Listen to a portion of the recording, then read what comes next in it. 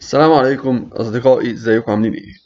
النهاردة إن شاء الله هشرح معاكم أول مصدر لتعلم الماتلاب اللي هو موقع ماتلاب أكاديمي. الموجود على موقع mathworks.com تمام. أنا هشرح الطريقة اللي أنت تعرف تت- تتعلم منها من الموقع ده وإزاي تسهل على نفسك. أول حاجة أنت بتفتح الموقع بتاع الماتلاب أكاديمي. هسيبه لك في الديسكريبشن تحت اللي هو matlabacademy.mathworks.com تمام. بيجيب لك ال timeline بتاع الكورس بتاعك. تمام؟ انت واقف لحد فين؟ آه، آخر حاجة وقفت عنها وتقدر تكمل في أي وقت. طيب آه عندك هنا الخمس كورسات زي ما قلنا أول واحد MATLAB Onramp ده بيديك ال quickly basics يعني ال- البدايات والأساسيات بتاعة ال MATLAB. انت بتدوس start هنا أو launch في الأول بيجي لك كلمة launch زي دي. وفي قبل ما تبدأ أنا عايزك تعمل حاجة تسهل عليك الدنيا شوية.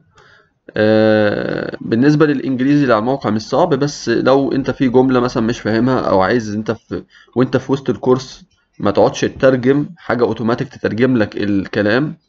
ممكن تعمل ال extension بتاع Google Translate ده. بتكتب عادي Google Translate extension كده Google Translate extension وتعمل له download و run والكلام ده. تمام؟ المهم هو بينزل في الآخر كده. هتيجي في ال options هتعمل إيه؟ هتعمل click يمين هتعمل options هتعمل اللغة الأساسية بتاعتك ال my primary language هتخليها عربي عربي Arabic تمام؟ بس ودي تاني اختيار. هي تبقى معمو- معمولة تاني اختيار لوحدها. وتسيف. دي هتخليك تعمل إيه؟ إن أنت أول ما تحدد أي جملة إنجليزي في أي حتة يعني مثلا في الكورس ده كده بيقول لك this live script contains formatted text code يعني. تمام؟ هتعلم عليها كلها كده. الاوتوماتيك هتظهر لك الترجمة بتاعتها.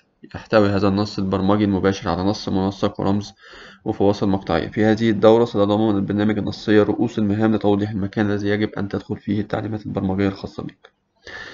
كده يتيح لك اوتوماتيك إن أنت تترجم أي جملة وأنت في الكورس شغال. ما ما يعني مش محتاج تروح لصفحة تانية وتنقل الكلام وتشوف الترجمة وترجع تاني وكده.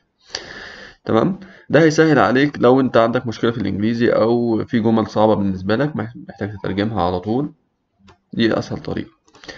بتقعد تكمل بتبدأ resume بيفتح عندك اوتوماتيك الصفحة اللي انت واقف عليها. انت مثلا خلصت آه، في أول كورس اللي هو MATLAB Onramp ده عبارة عن الكورس ده بيقول لك إن هو ساعتين. تيجي تشوف الكورس الأولاني أنا خلصت الحمد لله أول آه، جزئين. أنا في التالت دلوقتي. هو طول الكورس ده كله ال 15 جزء ده بيخلص في ساعتين. بيقول لك ممكن توقف في أي وقت وتكمل في أي وقت. آه، وفي في آه، فيديوهات في كل جزء بيوضح لك شوية حاجات. والحلو في الكورس ده إن هو بيعمل إيه؟ إن هو بي بيمشي معاك خطوة بخطوة يعني وبتطبق وأنت معاه. يعني بيقول لك مثلا ابدأ this live script contains formatted text هنا في السكريبت ده بيقول لك اعمل مهمة معينة بيقول لك run the script to pu- populate the output pane then modify the command for task 1 so that R has value ماشي هو بيقول لك اعمل run للسكريبت هو بيقول لك اعمل run كده تمام عشان يظهر الحاجات دي آه بيقول then modify the command. بيقول لك عدل بعدين عدل الأمر task 1 so that ال R has a value 0.5 طيب أنا كنت عايز أبدأ معاكم ال- المهمة دي من أولها علشان ما تبقاش آه تبقى واخد عشان تبقى واخد بالك من الموضوع إحنا بنعمل إيه. بس المهم هو الأول كان طالب مني إن أنا ال R أدخلها بقيمة 3 بعدين آه أدخل قيمة لل X اللي هي ال pi في R square R أس 2 وبعدين بعمل ال run علشان يظهر القيم دي في الجزء التاني. تمام؟ آه هو بيقول لك بعد كده أنا عايزك تظهر تعمل run عشان يظهر وبعدين عايزك تعمل تعدل ال command بتاع task 1 عايزك تعدل ال R تخليها بنص بدل 3 هنعدلها هنقول لك إزاي. ممكن تيجي عندها كده وتعمل 0.5 تمسح التلاتة وعدلت وتعمل run تاني. هتبقى ال R اتعدلت وال X اتغيرت برضو عشان هي ال X معتمدة عن ال R تمام؟ وتعمل submit في الآخر يخش لك على ال... يقول لك أنت عملت آه، اللي مطلوب آه، صح وغيرت ال R وال X اتغيرت فعلا. تمام؟ آه، بتعمل next task المهمة اللي بعديها بيقول لك على إيه موضوع تاني جديد تعمله. وكذلك. ولو في حاجة غلط هو بيوقفك يقول لك الغلط فين وعيد اعملها تاني. دي أحلى حاجة في الكورس ده اللي على الموقع بتاع MATLAB Academy إن أنت بتطبق عملي خطوة بخطوة. مفيش حاجة بتقف منك. وبيبدأ معاك من يعني من الأول خالص في أول حاجة بيبدأ معاك بيقول لك دخل قيمة ال X بخمسة بعدين دخل قيمة ال R باتنين كده. طيب آه مهم جدا تعمل الكورس ده أونلاين هيساعدك جدا.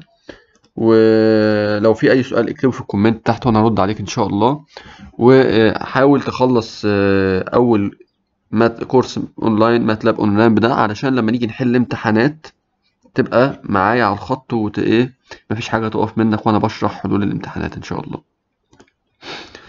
طيب دي آه كان أول مصدر للتعلم. أنا آه، يعني حبيت أشرحه بالتفصيل وإزاي تسهل على نفسك.